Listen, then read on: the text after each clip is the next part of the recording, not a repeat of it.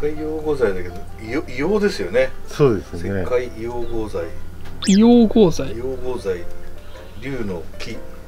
竜の木。一辺一辺の竜に。ゆまあゆ硫黄ですよね、ええ。だから硫黄の匂いしますよね。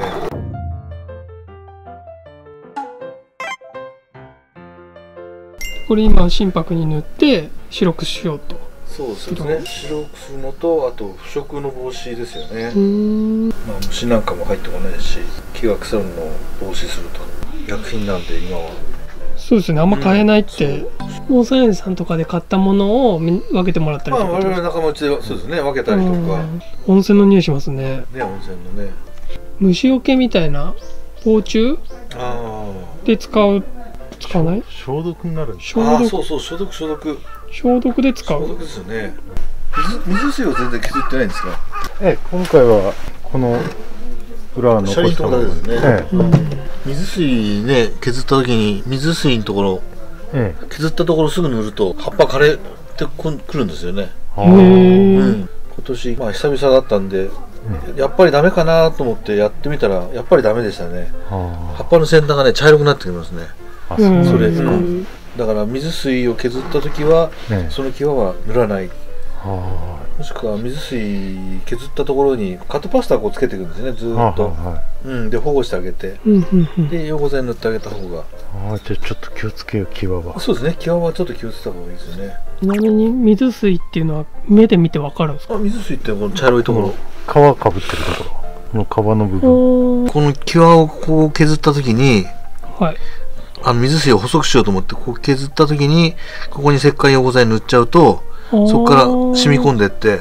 いわゆる人間だとそうじゃないですか。傷口にねあのー薬品塗ったら染みるじゃないですか。そうですね。ねえ。それはまあ木の場合純粋に吸い上げちゃって。うーん。このね先端から枯れてきますね。元はできてるんで治るやがて治るんですけどね先端の方はね茶色くもう見事でしたねこの間やったやつ。ありましたね。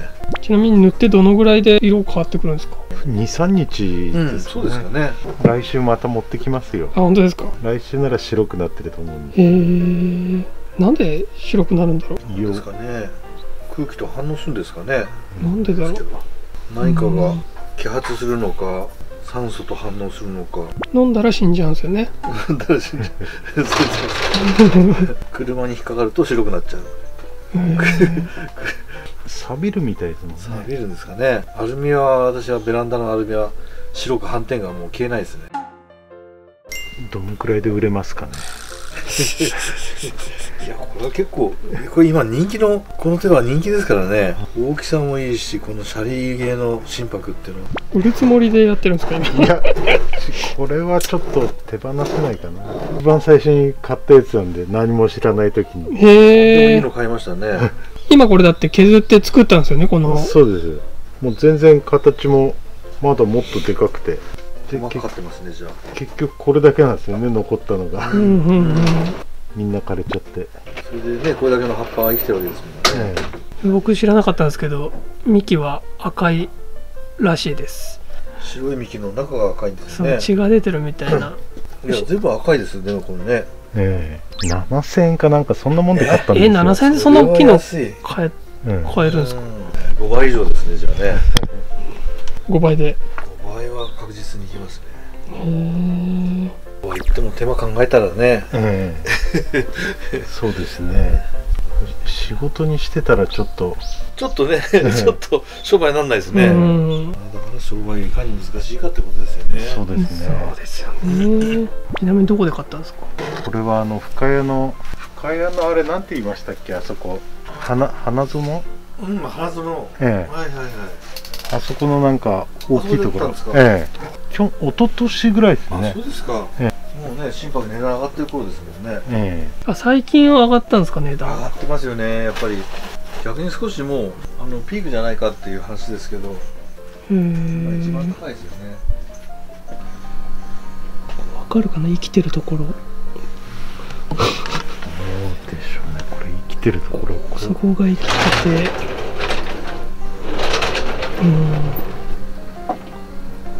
わかります。わかります。削る前の状態が。見たかった。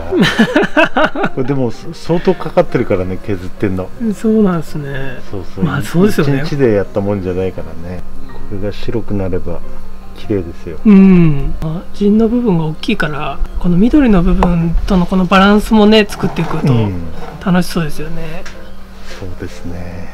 いいなあ最初に買った木でずっと遊べます。ねそうそうそう。でもこっち側の木はなんか枯れた原因みたいなのあるんですか？結局削ってって水水切っちゃったりああまだ全然分かんなかったんで。なるほど。で川崎先生に教わりながらうんうん。シャリをつけてったんだけどね。なるほど。それからはもうちゃんと覚えたから水水切らないように。若気の至りみたいな。そうそうそう。無茶しちゃって。あのヤバいなんかはね水水切っちゃっても全然平気みたいだあそうなんですね、ん。あでもそれもねやんなきゃ分かんないですもんね。そうなんですよね。うん。でもそれでもまたいろいろできるっていうのがそうそうそすごい面白い。逆にこっちの方が価値があるかもしれない。うね。うん。赤いところ黒くなってきたでしあ本当だ。この石灰溶合剤がこの土に落ちても大丈夫なんですか？ょ土に落ちても大丈夫だよね。鉢とかに落ちるとこう色変わっちゃうけどまあこれ土鉢だからはいはい。まあお構いなしにやっちゃうんだけど。土は大丈夫なんだ土は大丈夫じゃない？これだって薄めたあのほら消毒するからあそっかそっか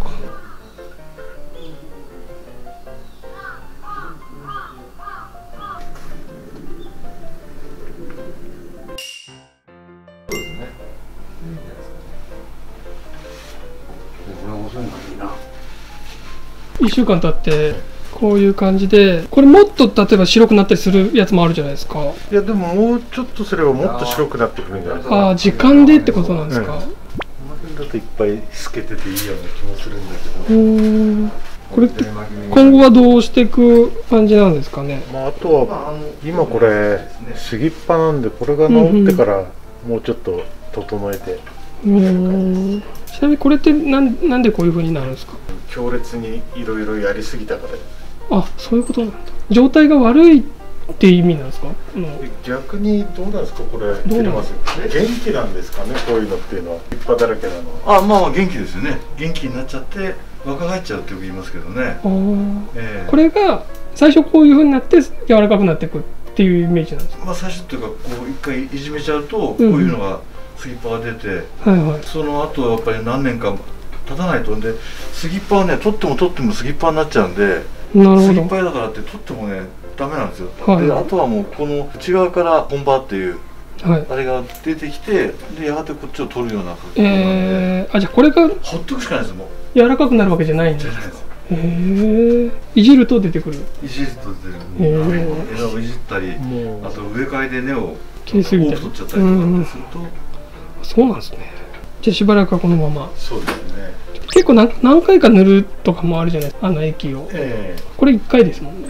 え1回です。意見1検疫回のまあ3回ぐらい塗ってるんですよねあなるほど。それでこんな感じ。1週間。そうです。でほっとくともっと白くなる。もっと白くへえ。楽しみですね。この辺はほらもともと塗ってあったからまだ白い確かに。こっちちの方が白いですね。